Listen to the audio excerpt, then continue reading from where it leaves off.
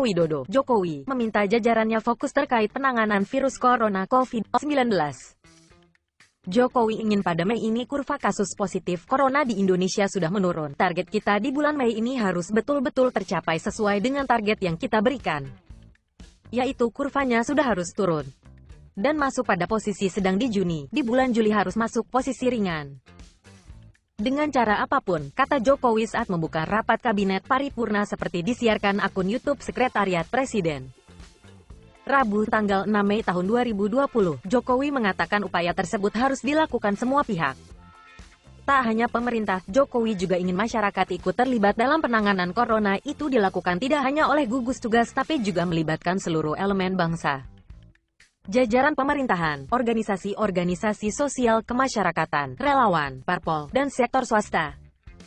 Ini yang harus betul-betul didirigeni dan diorkestrasi dengan baik, ujar dia. Saya yakin jika kita bersatu, jika kita disiplin dalam menjalankan protokol kesehatan, semua rencana yang sudah kita siapkan yang lalu bisa mengatasi COVID secepat-cepatnya, sambung Jokowi. Jokowi menegaskan negara yang berhasil mengatasi virus corona akan menjadi pemenang.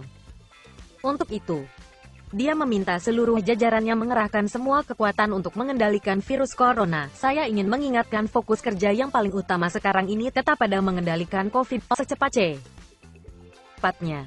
Menurunkan secepat-cepatnya.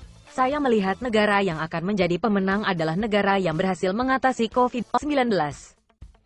Untuk itu, semua menteri, kepala lembaga Panglima TNI, Kapolri, saya minta mengerahkan semua tenaga dan mengerahkan semua energi, mengerahkan semua kekuatan untuk mengendalikan COVID dan menangani dampak yang menyertainya, ujar dia. Detik.com jadi bagaimana menurut Anda?